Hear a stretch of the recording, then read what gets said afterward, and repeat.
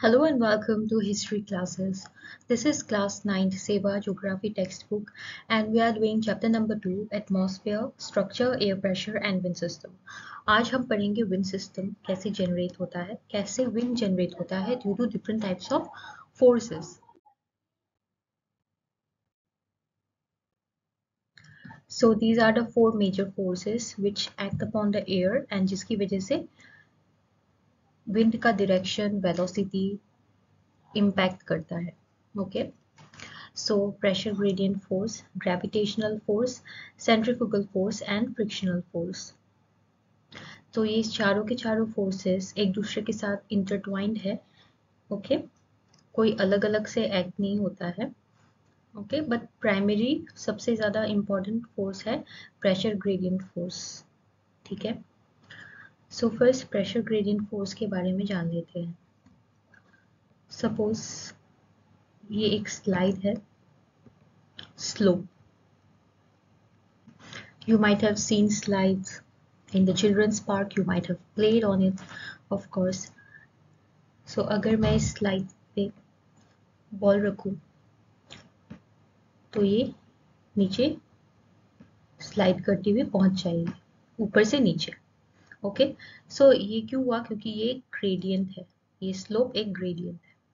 Understood high से लो वैसे ही इसी कंसेप्ट को अभी अप्लाई करते हैं एयर के मूवमेंट पे।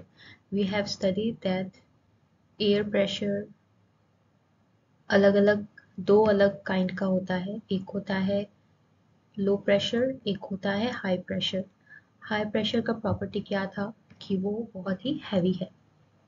Low pressure area is less heavy जिसकी वजह से लो प्रेशर एरिया क्रिएट होता है and high pressure area air की बहुत ज़्यादा डेंसिटी होती है। सो so, हाई से लो हमेशा ग्रेडियंट होता है तो ऑब्वियसली एयर अभी कहाँ जाना चाहेगी वो? हमेशा लो प्रेशर एरिया में जाना चाहेगी फिलअप करने के लिए खालीपन को। Understood so this is what is pressure gradient force next आता है gravitational force so this is earth okay sorry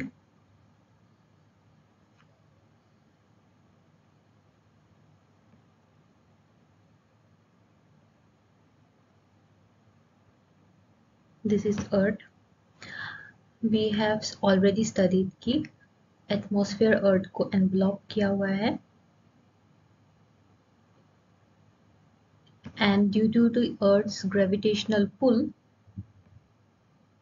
atmosphere की टेंडेंसी है कि वो नीचे आए अर्थ की तरफ़ अट्रैक्ट हो रहा है। तो जिसकी वजह से क्या हो रहा है?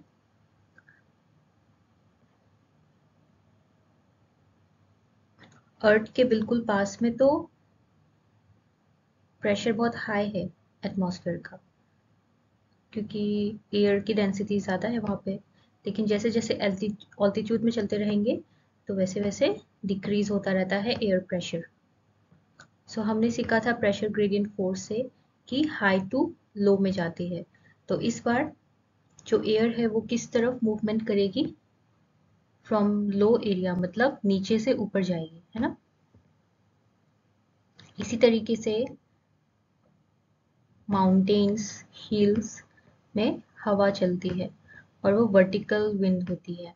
मतलब नीचे वैली से हवा आती है हिल्स या माउंटेन्स के पास। Okay this is what gravitational force की वजह से विंड होता है। Now important important one is centrifugal force very important and उसमें सबसे ज़्यादा इंपॉर्टेंट कॉन्सेप्ट है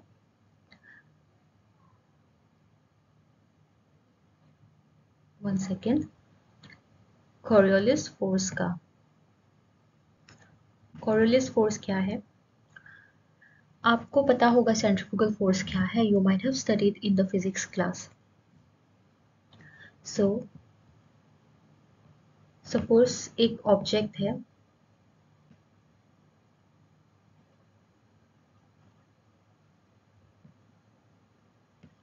जब उस, वो अगर घूमेगा तो उसका टेंडेंसी होगा कि वो अवे फ्रॉम द सेंटर जाएगा।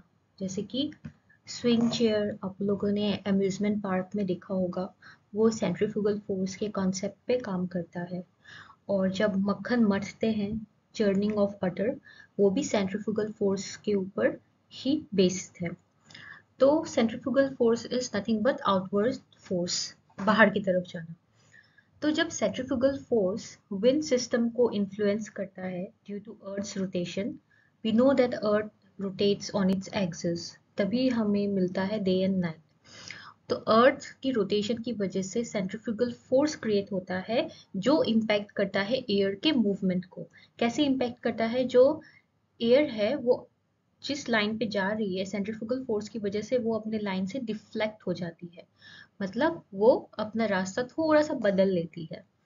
इसी कॉन्सेप्ट को कहते हैं Coriolis force okay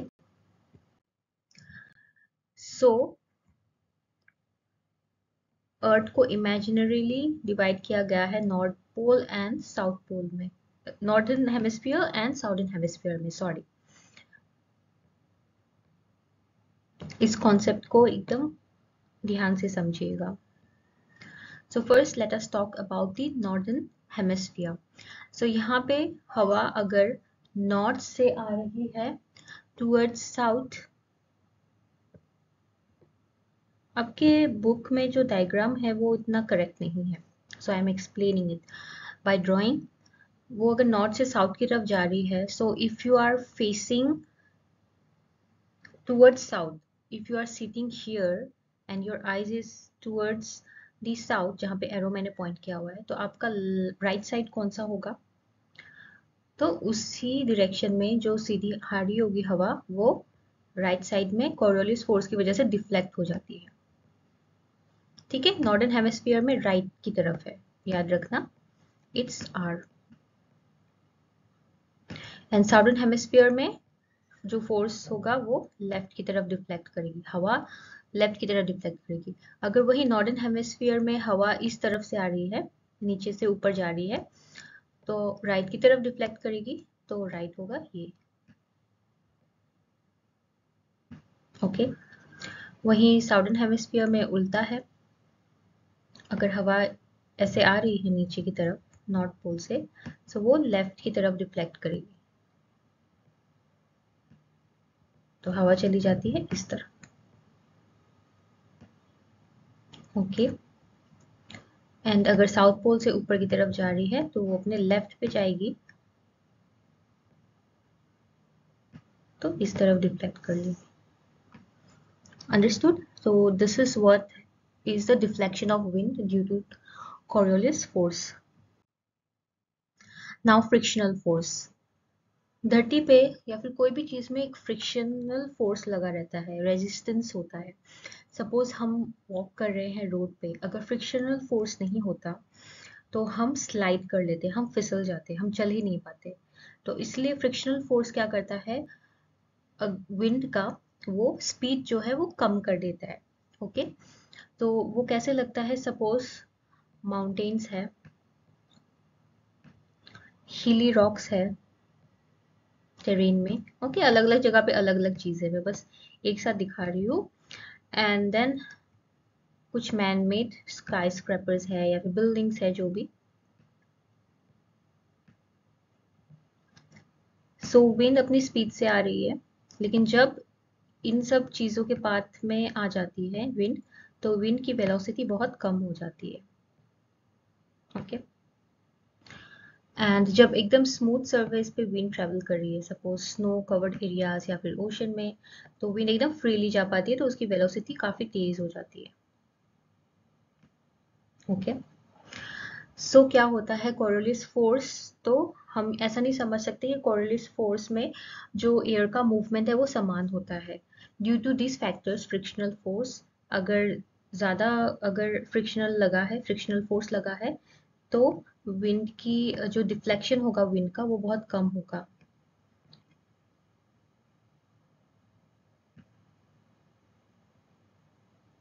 okay sorry wind की वेलोसिटी या डिफ्लेक्शन बहुत कम होगा, जब अगर फ्रिक्शनल फोर्स अगर ज़्यादा लगेगा ओके एंड क्योंकि विंड की वेलोसिटी कम हो गई। अगर फ्रिक्शनल फोर्स कम लगा और विंड की स्पीड क्या है हाई है तो डिफ्लेक्शन बहुत ज़्यादा हो जाएगा। Understood okay so this was it the four types of forces I have tried to explain in a very very brief manner okay I hope it was useful thank you so much